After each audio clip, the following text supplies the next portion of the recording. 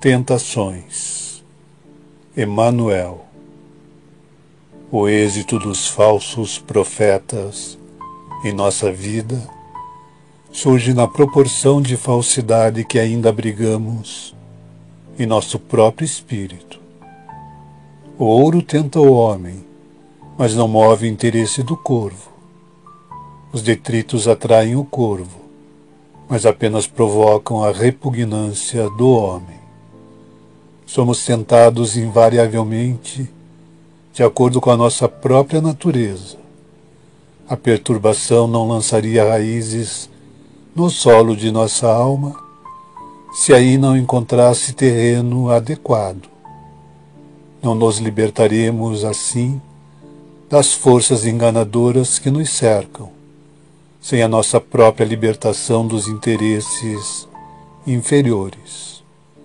O ouvido que oferece asilo à calúnia é cultor da maledicência.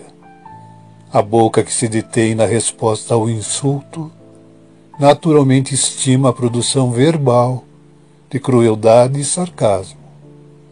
Quem muito se especializa na contemplação do charco traz o pântano dentro de si. Quem se consagra sistematicamente à fuga do próprio dever aceita a comunhão com criaturas indisciplinadas, como se convivesse com mártires e heróis. Quem apenas possui visão para a crítica, encontra prazer com os censores inveterados e com os incuráveis pessimistas, que somente identificam a treva ao redor dos próprios passos.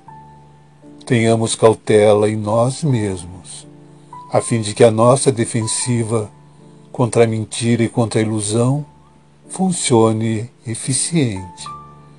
Não seríamos procurados pelos adversários da luz se não cultivássemos a sombra. Jamais ouviríamos o apelo às nossas vaidades se não vivêssemos reclamando o envenenado licor da lisonja ao nosso próprio eu enfermiço. Procuremos as situações e os acontecimentos, as criaturas e as coisas, pelo bem que possam produzir, nunca pelo estímulo ao nosso personalismo desregrado. E os problemas da tentação degradante estarão resolvidos em nossa marcha. A árvore é conhecida pelos frutos, ensina o Senhor e seremos queridos e admirados pelos espíritos que nos rodeiam através de nossos próprios pensamentos e através de nossas próprias obras. Sejamos fiéis ao Senhor, na prática do amor puro, em qualquer confissão religiosa que nos afeiçoemos, e as forças infiéis à verdade não encontrarão base em nossa vida, de vez que a vontade divina e não o nosso capricho, será então a luz santificadora de nossos próprios corações. Assim seja.